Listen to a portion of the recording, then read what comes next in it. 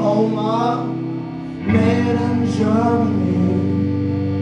Dummheit für die anderen, made in Germany. Dummheit